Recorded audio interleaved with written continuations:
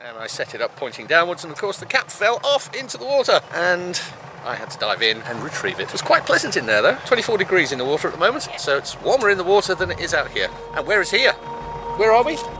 Don't know. We don't know where we are. We know where we're going.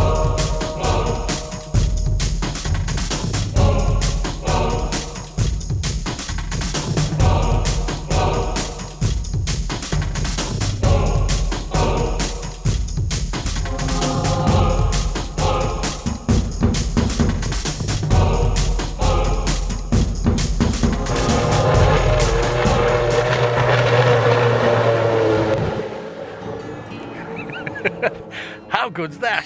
Christmas is coming. It's on my list. I'm not sure about the electric wakeboard for Christmas, Baz, sorry. But I do know that in last week's episode, we left you guys and gals wondering if we were going to get to Sunion without any more engine trouble. 2000, but we do have a lot of smoke coming out of the exhaust, which Yeah. is uh, more than usual. How far have we got to go? Uh, we've still got 12 miles. Okay. Let's get from here here without incident. Yeah.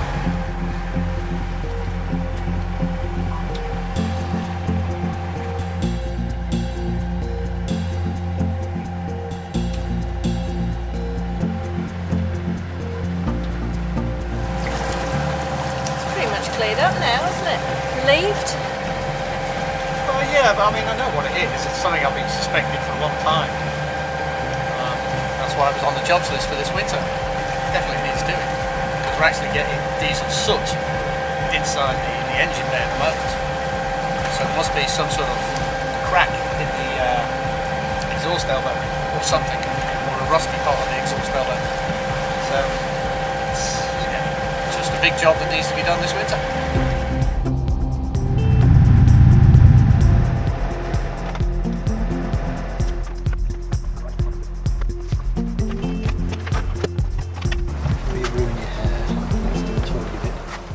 Back in the anchorage at Sunio for the third time, and what a difference a day makes. Well, it's not really a day, it's probably more like three or four weeks, isn't it? Yeah. Last time we were here, there were just yachts and yachts and yachts. Yeah. Today, we've arrived, it's five past three in the afternoon, and there is us and one other boat here. That's it. Yeah. Um, so we had the choice of where we wanted to anchor, but we decided that um, as soon as we'd anchored here twice and had no problems, we'd do the same thing again and anchor in the same spot. Because I think, you know, if something's working, Yeah. just stick with it. Because there doesn't seem to be anywhere else that's better sheltered from any swell that comes in from the uh, ferry. So Yeah. here's as good a place as any. And actually, it's all right at the moment. We've got about five knots of wind coming out of the uh, out of the west there, um, and so that's pointing us out towards the opening, which means that we're bows to any swell that's coming in anyway. Yeah. Should be good. so you're going to go and dive the anchor, are you? I am. Just in case. Yeah, and I know that I won't get run over today. No, no chance. it was a bit dicey last time. okay, going. all right.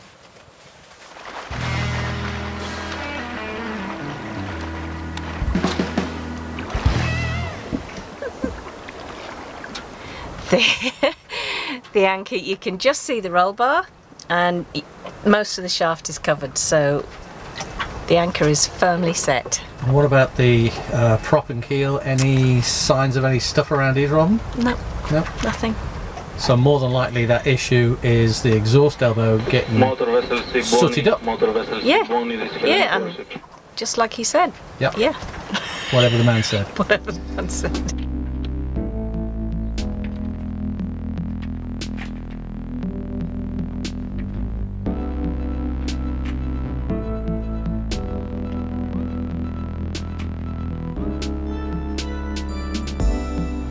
Wednesday morning, another mostly windless day. It's pretty calm out there. We're off to fill up the fuel tank today.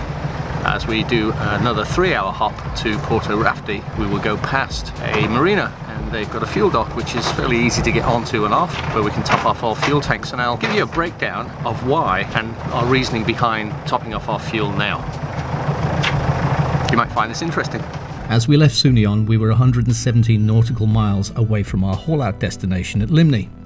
If there was no wind, that would be 24 hours of motoring. which would consume 120 litres of diesel. Our fuel tank was less than half full at 82 litres. Therefore, we needed to stop somewhere soon to fill up the tank.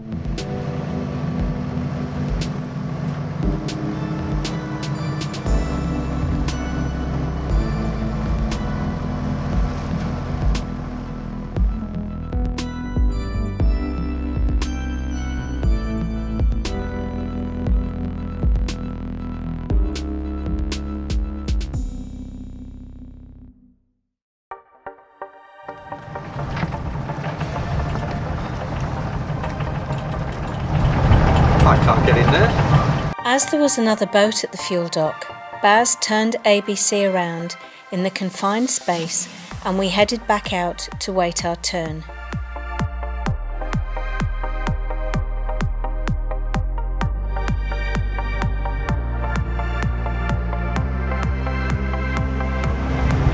But when we get up close, you ask them how, how long they think they'll, they'll be there refueling.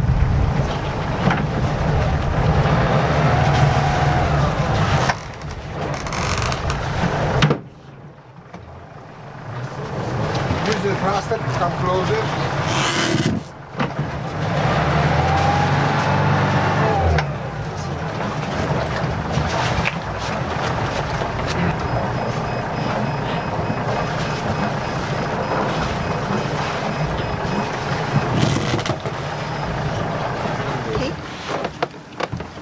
How many liters, more or less? Uh, full, uh, possibly 100, maybe more. Okay, okay. You're busy. Uh, when it's windy, I don't want to leave boats.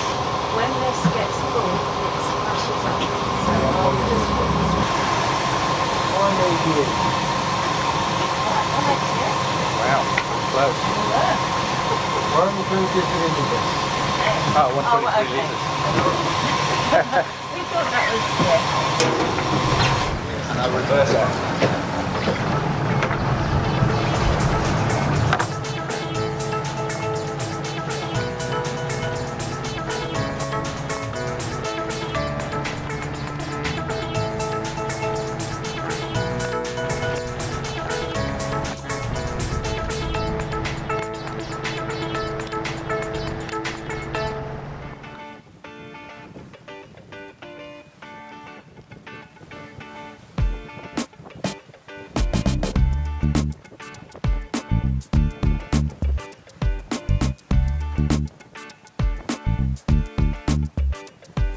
With 20 knots of wind on our nose, we decided we may have a better sail if we tacked.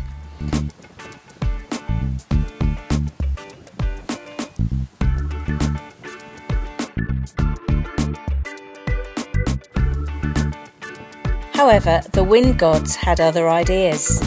So much for tacking. You just don't know, do you? Which means the bow is all over the place. Yeah. The wind can come and go, and you can see out there that it's probably less than 10 now. 1.3 knots off speed. Motor sail?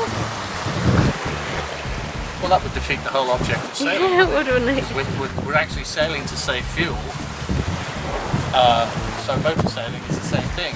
So if we put the motor on, we might as well just go straight to where we want to go. Yeah. I've not got enough headway to keep the bow in line. Yeah.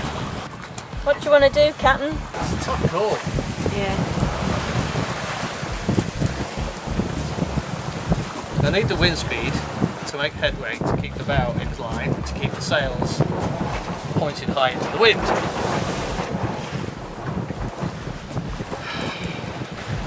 But it looks like the wind's actually dropping quite does. a lot. Got 15 knots of apparent wind. I'm doing 2.6 knots of speed. Which again defeats the whole object of what we were doing in the first place. Now it's going to take us four hours instead of two. So I think what we're going to do is we're going to say bugger it. We're going to put the engine on, point at Porto Rafti, put the bloody sails away, and down the wind. So frustrating. Feels very strongly about that.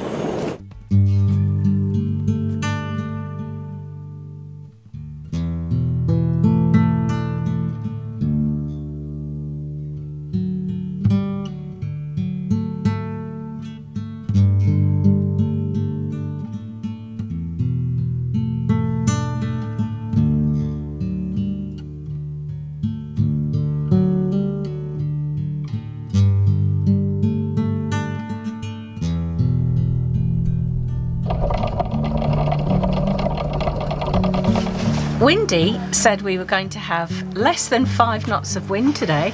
Windy was telling porky pies, wasn't it? Oh, very big porky pies. We had 20 knots of wind on the nose today.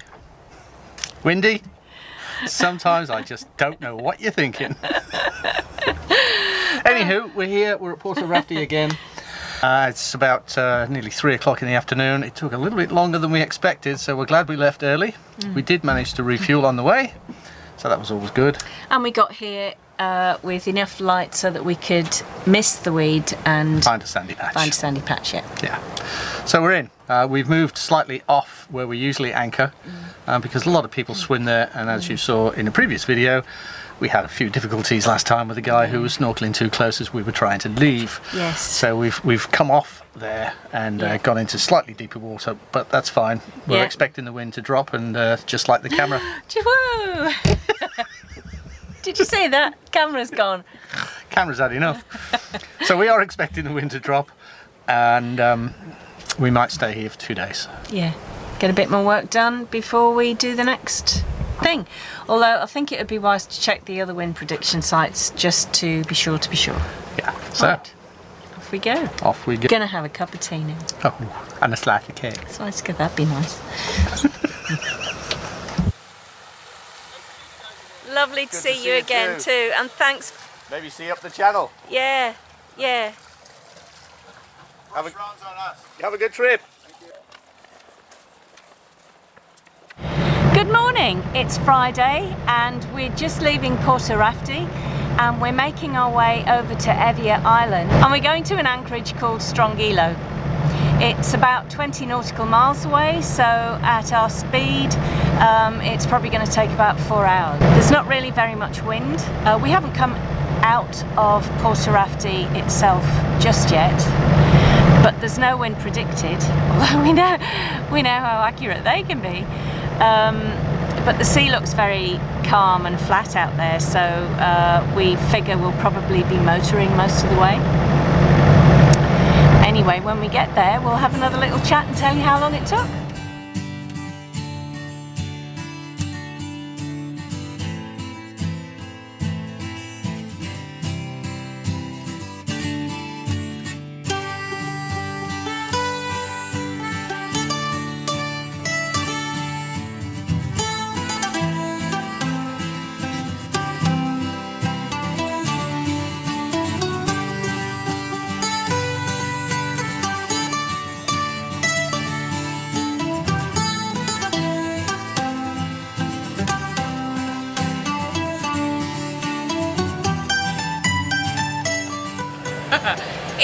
Seems my calculations were a little bit out because we've been going a bit faster than we thought. Oh yeah, it's been quite good.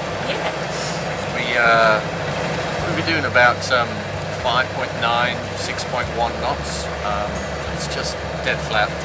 I think the wind is probably around about five or six knots, uh, so not really a, an issue. And uh, it's, been, it's been a very easy uh, three-hour hop, really, isn't it? Yeah, it's been lovely. The, the sea is so calm. Yeah, and um, there's a bit of traffic around, but not much. We're the only yacht we've seen. I reckon this time of year, any yachties that are still out are probably going south. Because I have noticed today that there is a bit of a chill factor in that breeze, isn't Well, we've both got our hoodies on. See? Yeah, hoodies. Slippers. Winter is coming. winter, i- aye, winter is coming. You know nothing, John, Jon Snow. Snow.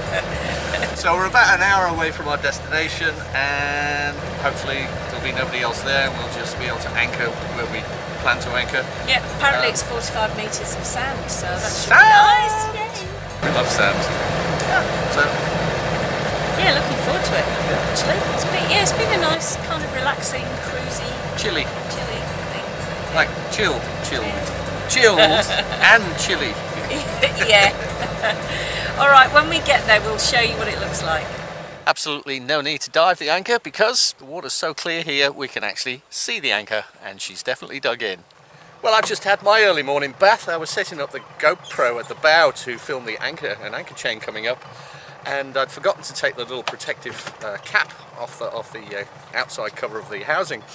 and I set it up pointing downwards and of course the cap fell off into the water and I had to dive in and retrieve it. It was quite pleasant in there though, 24 degrees in the water at the moment, so it's warmer in the water than it is out here. And where is here? Where are we? Don't know. We don't know where we are. We know where we're going. going to Eretria. We are going to Eretria. Are you one of the 49.8% of people who watch our videos and are not yet subscribed? Do us a favour, click that subscribe button down below and click the bell icon so that you don't miss out on any future Sailing A B Sea episodes. It also helps us out a lot more than you can imagine. Hey, and don't be a stranger, leave a comment too, we love reading what you have to say.